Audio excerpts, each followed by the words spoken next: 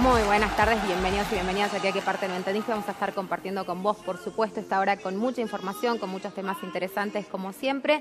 Ya le damos la bienvenida al doctor Javier Veracruz porque vamos a estar hablando justamente en esta semana de algo tan importante como es el tema del cáncer de mama, la prevención y sobre todo qué podés hacer, ¿no? Después cómo se puede trabajar también con pacientes que han atravesado por este proceso, por esta enfermedad, así que hay mucho para desarrollar, como te decía, en esta charla, ¿no? ¿Cómo está, doctor? ¿Qué tal? Bienvenido, gracias por acompañarnos.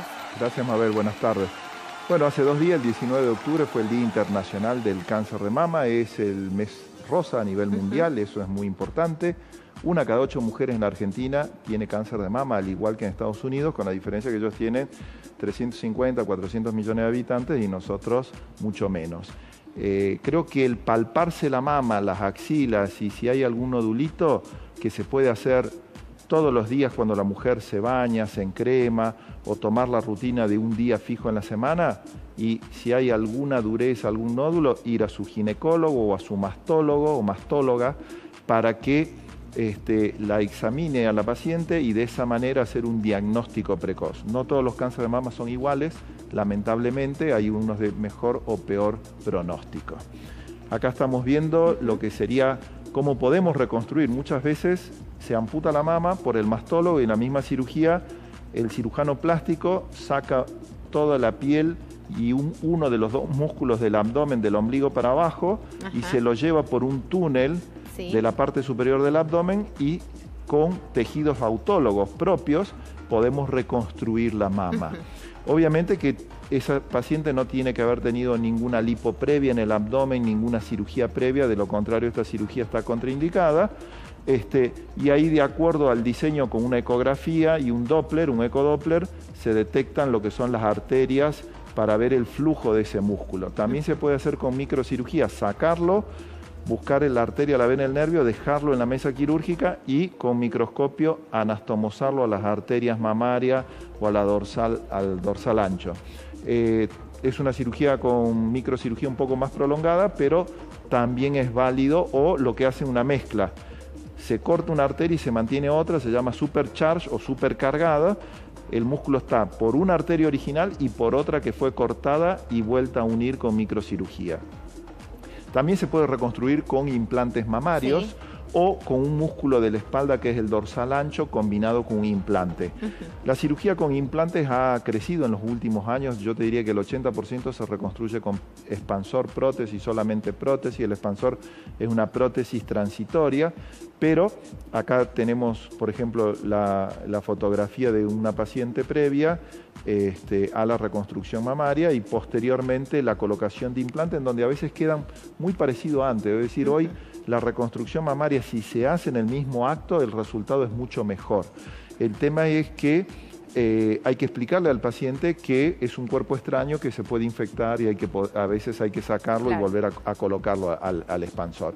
Eh, si las pacientes son fumantes, ahí, ahí tenemos la paciente con prótesis ya, eh, colocado en dos tiempos, un expansor y luego se saca a los seis meses y se coloca la prótesis definitiva con buenos resultados estéticos. Y esta paciente queda prácticamente con nada de tejido mamario, queda la piel, la areola, el pezón, que a veces se puede mantener o no, dependiendo qué tipo de cáncer es, y toda la mama es ocupada por una prótesis. Entonces, de esa manera, su riesgo de cáncer ya es prácticamente ínfimo, porque lo que le quedó de tejido mamario está pegado a la piel por dentro, poco y nada.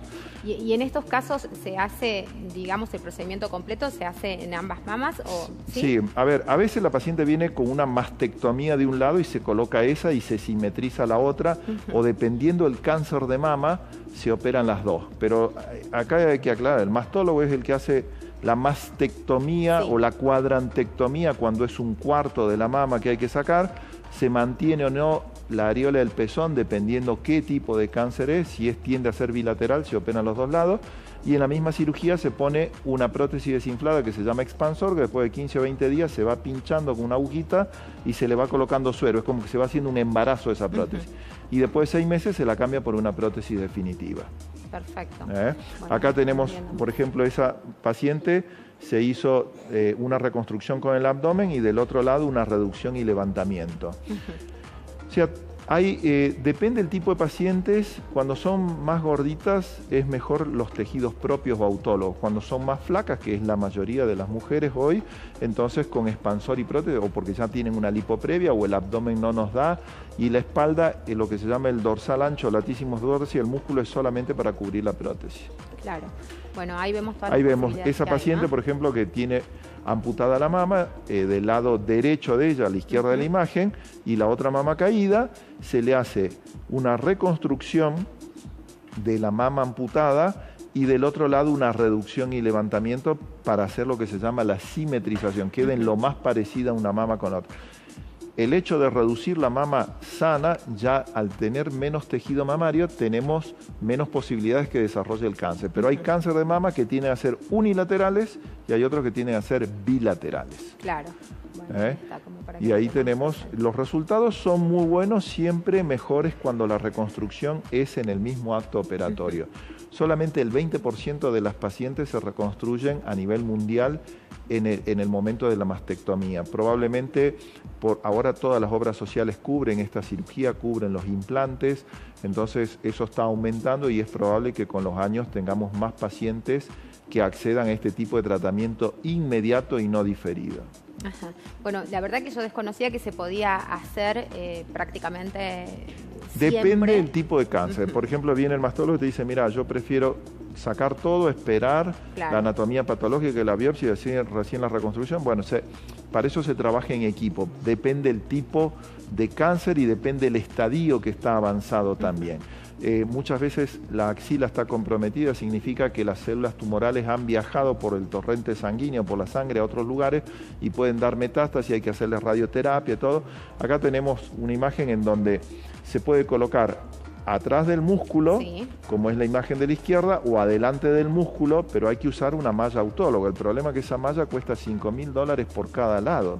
O sea, son 10 mil dólares, valor oficial de 104, es mucha plata para nuestra realidad. De más de casi 2 millones de pesos, Exacto. Depende cómo, y, cómo lo consigo. y se coloca delante del músculo pectoral con una malla autóloga, eh, una malla externa, perdón, este, que no es propia, es producida eh, por células muertas, una red, digamos, con grasa.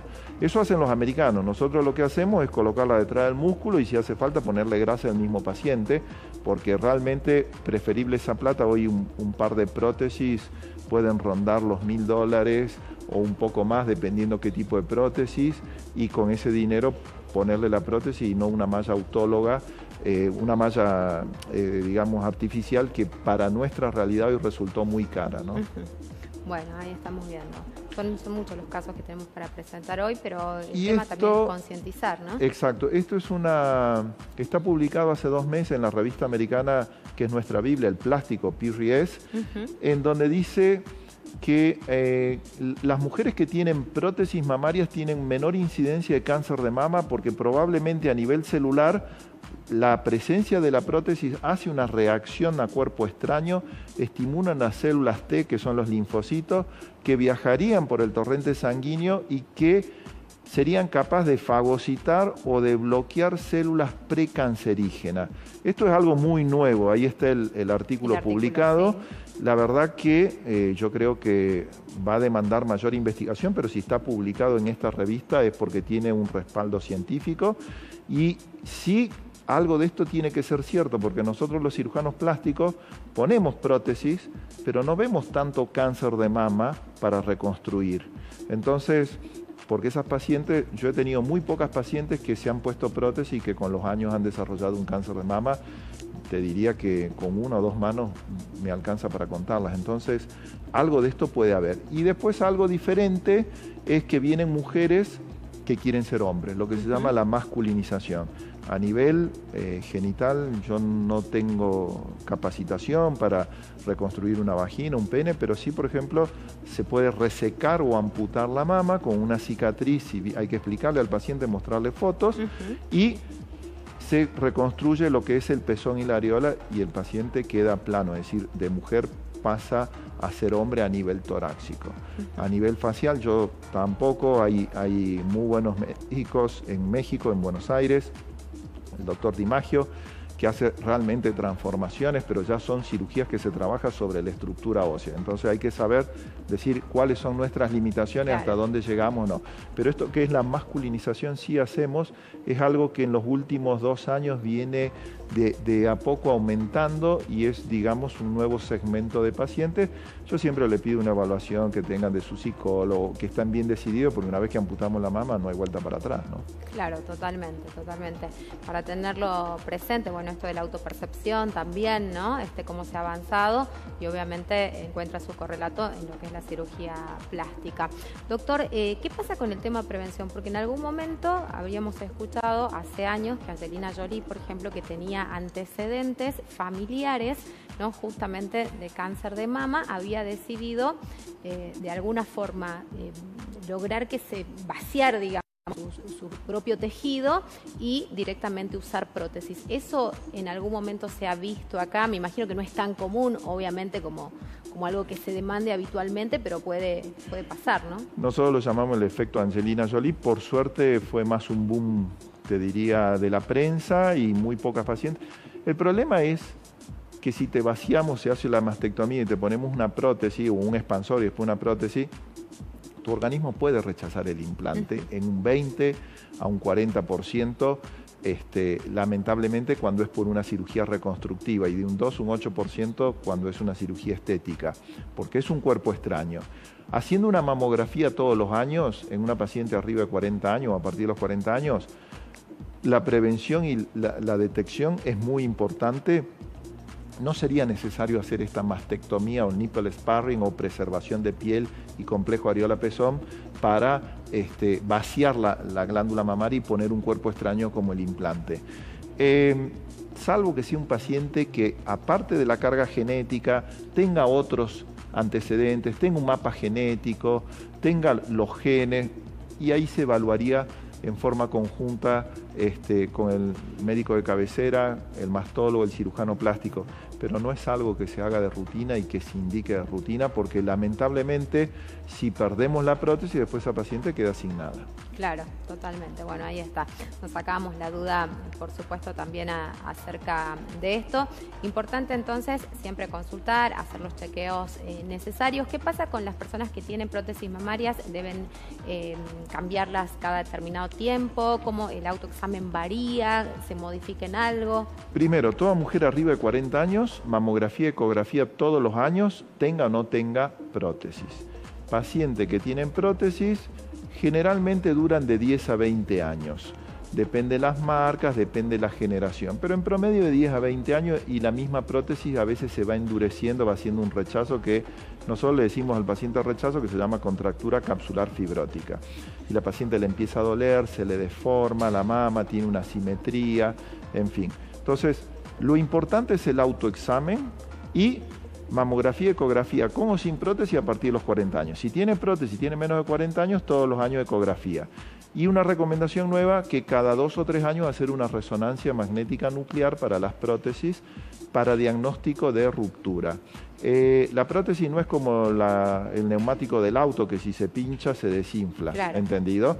Pero la ruptura puede ser intra extracapsular y si es intracapsular no hay problema. Si es extracapsular y es una prótesis vieja, podría migrar la silicona generalmente hacia el tórax o a la axila. Entonces es importante, eso es un nuevo concepto que cada dos o tres años hacer una resonancia Muchas veces yo recibo una ecografía que informa ruptura de implante y después en la resonancia no se ve. La resonancia tiene un 80, un 90% de fidelidad, tiene un pequeño espacio mínimo que por ahí me puede decir que la prótesis está entera y está rota pero esto es nuevo, cada dos o tres años una resonancia para aquellas pacientes que están operadas de prótesis. Bueno, ahí está entonces toda la información. Si requieren consultar, si necesitan saber algo más, si quieren o, necesitan algún tipo de, tratamiento o de asesoramiento, obviamente pueden hacer la consulta. Ahí están los datos en pantalla para que se dirijan directamente a la clínica del doctor. ¿no? Muchísimas gracias, doctor, como siempre. Gracias, gracias por acompañarnos. Que esté muy bien, que tenga una excelente tarde. Nos vamos a la pausa. Quédate y ya volvemos. Dijiste que mis labios son